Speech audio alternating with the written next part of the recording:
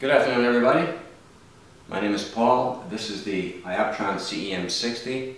As you can see, I have uh, some OTAs stacked on it. Just about 60 pounds worth of OTAs.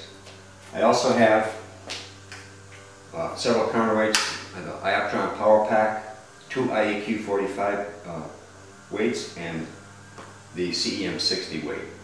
I did have to use the iEQ 45 counterweight shaft extension, which is, oh, that much longer, because I could not balance it with the standard counterweight shaft. To balance it with the standard counterweight shaft, you would need at least three of these 20 pound counterweights. So, that's what we have. Again, I have the AT10 uh, Ritchey-Chrétien, the AT6 Ritchey-Chrétien, and then a carbon fiber 90 millimeter Stellarvue up there. With all the attachments and blocks and mountings, it's, it's almost spot on 60 pounds.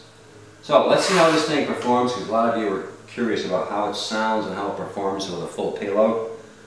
So let me just, uh, from this position, which is the zero position, I'm going to put it into park position, which will lay the whole unit over on its side.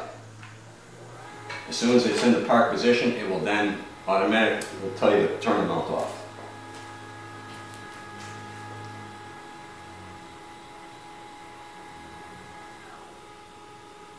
I've noticed that the more weight I put on this mount, the quieter it gets.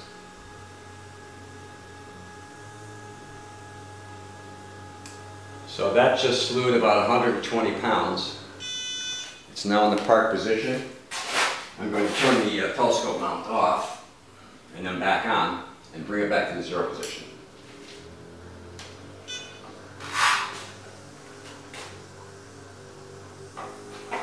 And there we go, 120 pounds total back to the zero position. That's slewing in Dec and in RA.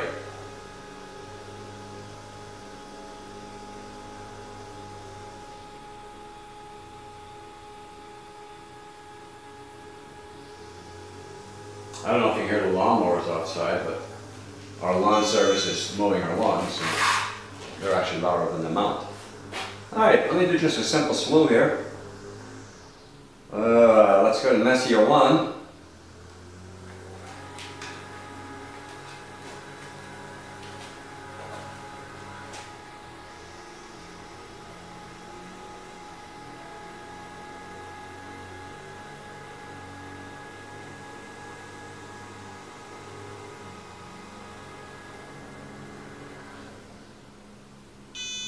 And we're there, I'm retracting. Okay. Go right back to zero position and we'll wrap this video up. I'm never going to image like this or use the telescope in this configure or use the mount in this configuration.